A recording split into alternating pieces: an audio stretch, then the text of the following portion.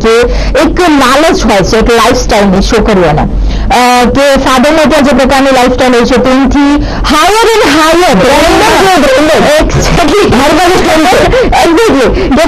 જે કહી શકાય કે સેવ કોલ અને ઇન્વર્ટેડ કોમામાં જે બ્રેન્ડેડની જે આપણે વાત કરીએ, તો એક્ઝેક્ટલી કંઈક એવું જ હોય છે, પણ આ બધી બાબતોની અંદર આપણે એવું નથી લાગી રહ્યું કે આ બધી બાબતોમાં આપણને એવું લાગે કે ખૂબ જ વેરી થયેલી આપણે અથવા તો એકદમ ટીપટોપ છોકરીઓ હોય અને એકદમ પોતાની જાતને, હા આ ફરીવાર કહીશ કે ઇન્વર્ટેડ કોમામાં પોતાની જાતને સાચી માનતી, પોતાની જાતને ઇન્ટેલિજન્ટ માનતી છોકરીઓ જ બાબતમાં વધારે ફસાય છે. કારણ કારણ કે એમને ભવિષ્ય દાખવાની અથવા તો ભવિષ્યમાં શું થવાનું છે તેનો ખ્યાલ જ નથી હોતો. કારણ કે એ લોકો એ દિવસે રાતના ઘરે હોય ત્યાં પણ એ લોકો ફક્ત રાતના દિવસની પાર્ટી એન્જોય કરી છે. કોઈ ભવિષ્ય વિશે એમને વિચાર નથી કર્યો, કોઈ સમાજ વિશે વિચાર પોઝિટિવલી રિઝલ્ટ પોઝિટિવલી કહ્યું છું કે સમાજ વિશે પોઝિટિવલી અમે જાણવાની કોશિશ નથી કરી. દુનિયામાં હકીકતમાં શું થઈ રહ્યું છે તેની વિશે જાણવા નથી કોશિશ કરી. ફક્ત તેમનો એક સર્કલ છે, એક ફ્રેન્ડ ગ્રુપ છે, લોકો તેમને રોજ બોલાવે છે ફોન કોલ્સ કરીને જાય છે, જઈને પાર્ટી કરે છે.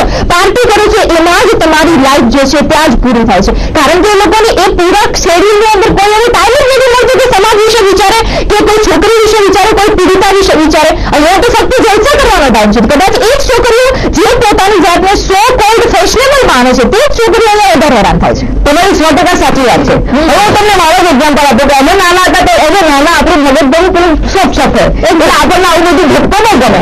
પાર્ટી ગમે ને આ ગમે ને આપણને બી ડાન્સ કરવા ગમે ને આપણને બી ગ્રાઇન્ડર કરવા ગમે ને બધું જ ગમે. પણ અહીંયા પેરેન્ટિંગ નો સવાલ આવે છે. આપણે પેરેન્ટિંગ નો અત્યારે લેક્ચર નથી લેવા પણ જયારે આ પેરેન્ટિંગ ના સવાલમાં બી ઘણી વાર કે આજની તારીખમાં શું થાય છે કે જે અમીર માલ માઈ બાપો છે એમની પાસે પૈસા છે પણ ટાઈમ નથી.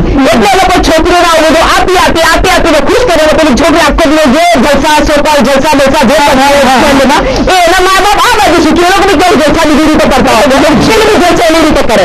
અને જ્યારે આ છોકરી, આ છોકરીને એટલે એમ કોઈ સેન્સિટાઇઝેશન હોય નહીં લઈ નહીં, અને જ્યારે આ છોકરી પછી પછી એના હસબન્ડ ને આવે જે બી આ ઊંચા ઘરમાં પણ આવે મળી બી રહે ઊંચા ઘરનો અને પેલો બી કેવી રીતે મળે આવો જો એ બી કઈ જલસા કરતો જ રહેતો હોય એટલે અને એને બી આમ ઢોળ ધપાટ તો ખબર જ હોય અને એને ખબર હોય કે ઢોળ ધપાટથી કોઈ ચૂપ કરશે કારણ કે એના બાપ જ શીખવાડે છોકરીનો બાબત શીખવાડે કે ભાઈ, તું આનો નિવાસ કરશે? ભલે તો અમારા ઘરે નો સ્વાઈ તમને તમે પછી બીજી મળશે ને એને સોસાયટીમાં તારું સ્ટેટસ રહેશે ને તમે તેને ઢાંકીને પૂછ્યું અને એટલે આખી આજે પેલી સો કોલ તમે જે કહ્યું ને બહેનોની આખી ગંદી સાયકલ છે, મેં જોઈ છે.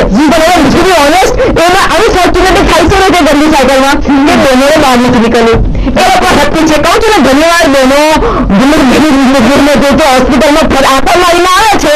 પણ ના એને તો પેલો ગમે ભલે તો કે સમાજ વગર પણ સમાજ ને એને રોકડાની ચિંતા હોય તો ચિંતા તો એમાં આપણે તમને એનું કોઈ વાત